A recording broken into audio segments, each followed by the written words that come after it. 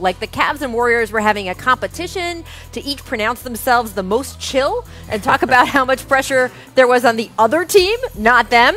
Take Richard Jefferson, for example. You got to hear this. It's not on us. It's not on the pressure. Where's the pressure on us?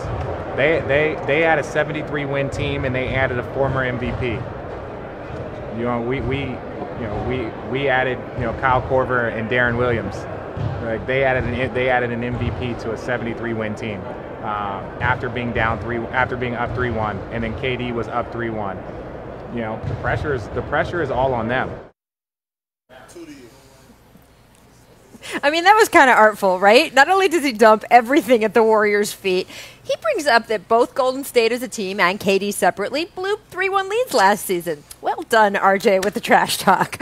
Of course, the Warriors themselves were having none of it. Pressure? What pressure? Here's Draymond Green. We split on the road. I think that's the goal. Um, you know, you take care of home court. We did that. And then you go still one on the road. I think we did that. So, you know, I don't know where all this added pressure and, you know, this, that, and the other is coming from. We did what we wanted to do. Look, here is the real truth. There is a lot of pressure on someone tonight, and his name is Kevin Durant. I mean, if this were a movie, we'd all say the storyline was being written too predictably, right? Here are the Warriors up 3 1 again. This is exactly what they got Kevin Durant for.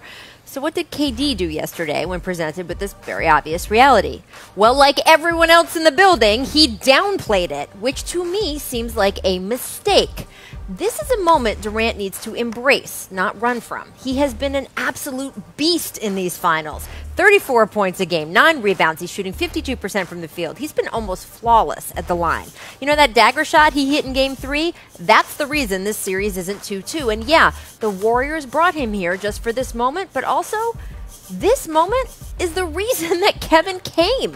For his entire life, he has been trying to get right here. All the costs that have come along the way, the disappointments, the controversies, all of it has been for this. One of our regular panelists on this show and former warrior, Mr. Stephen Jackson, once famously said, I make love to pressure.